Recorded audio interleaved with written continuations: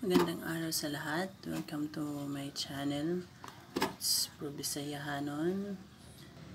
Sa ngayon, uh, ipapakita ko sa, iyo, sa inyo yung ito yung copyright claim ng isang uploaded videos ko last August 5, 2019 sa show ni Mimi Vice. Uh, sabi dito, due to a copyright claim, your YouTube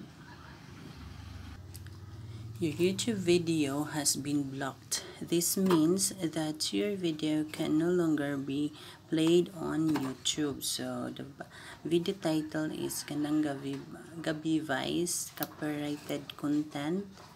Gandang Gabi Vice 800 and claimed by EBS-CBN Corporation. So, ito, i-click natin to.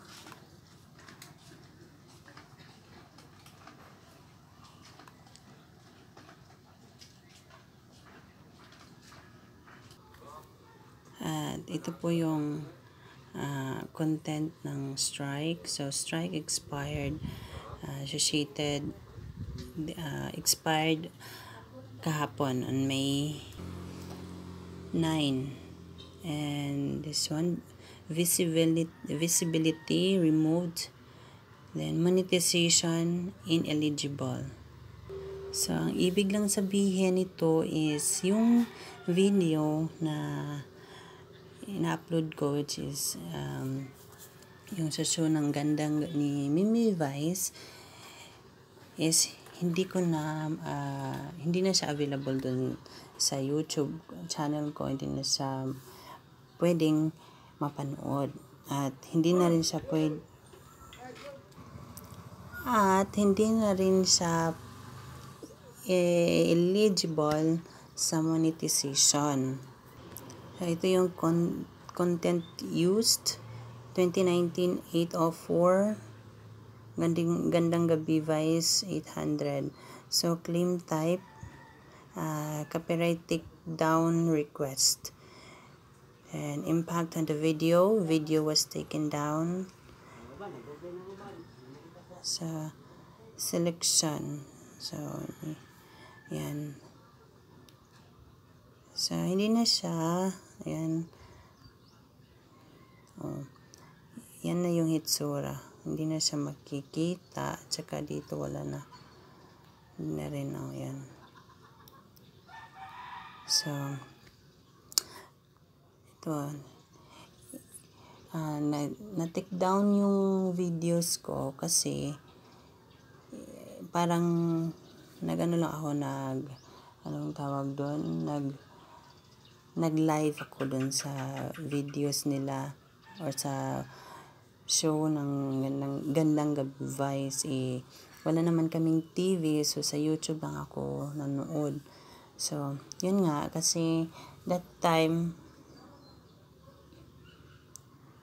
that time was uh, um, yung guest is si yung dalawang Korean. So dapat um, ano ako doon fan fan na pa uh, fan na fan ako ni Ryan Bang at saka yung kapabayan niyang Koreano. Kaya kaya lang sa kasamaang palad na take down kasi nag-claim yung network. So okay lang yun kasi yun na yun. Wala na. So sa akin lang bakit ko na, na bakit ko nilive yung ano nila is eh, gusto ko lang din maano maaliw mas, mm, gusto ko lang din na maging happy or manood doon sa show kasi you know gusto mo rin tumawa di ba? So ayun kaya lang may nag-claim. So okay lang. So kahit na na-expired na tong ano yung copyright claim, hindi hindi na yun ma ano, hindi hindi na yun ma mapanood ulit or hindi na yun maibalik dun sa tawag nito sa visibility niya kasi yung visibility niya is totally removed na talaga Ayan, parang triple dot na yung makikita. So, pag ipi-play mo yun, um, unavailable na yung nalabas. So, ito yung parang take down uh, take down take down before shut down after.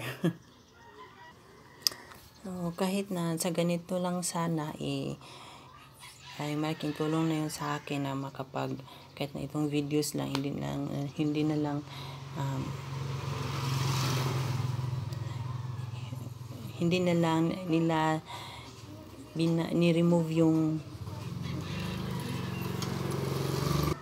hindi na lang nila ni-remove yung videos ko malaking tulong na yon pero yun nga. Parang eh wala eh. Tinanggal talaga nila. So wala na. Diba? So may ano lang may ano lang talaga lahat. May rason kung bakit ano, kung bakit na take down yung videos ko. So God knows talaga. Kasi, sa akin lang, um, ano, um, big fan ako ng ABS-CBN since um, mga 6 years old pa ako or simula bata pa ako hanggang ngayon. Talagang talagang uh, fan talaga ako ng ABS-CBN so sa lahat ng mga istasyon yung ABS-CBN yung pinaka favorite kong show or favorite station na pinapanood ko. Kahit na dati black and white pa yung TV namin. So nagtadyaga talaga kami na mapanood lahat yung show ng network. So marang hindi talaga hindi ko talaga sinayang yung time lalo lalo na yung mga um, reality show kagaya ng PBB yung PDA, yung ganun.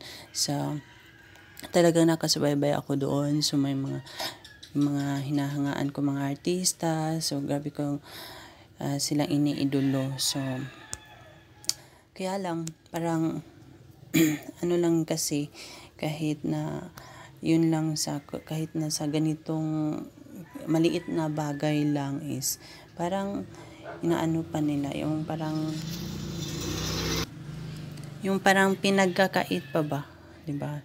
So hindi naman hindi naman siguro kikita tayo ng million agad dito pero malaking tulong na din to sa kagaya ko na nagsisimula pa lang na na magiging YouTuber. So ito is makakadagdag sana to sa uh, sa watch time ko. Pero wala eh, sayang yung may ilan, may ilan na nakapanood doon sa live ko na yun. So, nawala lahat yun. Pati yung nag-subscribe sa akin o normal kay kung may nag-subscribe sa aking channel. That time is lahat doon na naibawas kasi automatic yun na mawawala pag pag may ganito may mga videos ka na ginagawa tapos um, uh, i-delete mo kung may mga nagsasubscribe at may na nunood or may nag-likes, is automatic yun. Mawawala rin, di ba?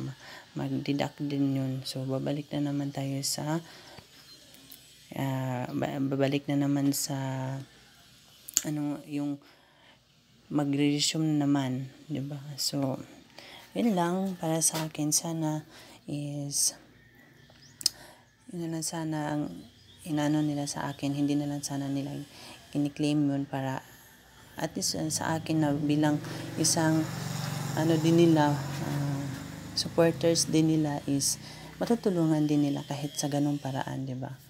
So, yun lang ang reaction ko tungkol dito. Then,